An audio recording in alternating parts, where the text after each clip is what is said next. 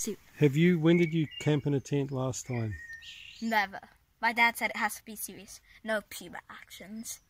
Um, never. This is my first time, and it's real exciting. You haven't camped. Mummy said you've slept in a tent before overnight, Yeah, this is my first night, but Mummy said you've camped, slept in a tent before. and I don't remember that. No, neither did I. Neither did I. Did she actually say that? Yeah, Oh, no, seriously. yes, she did. Oh.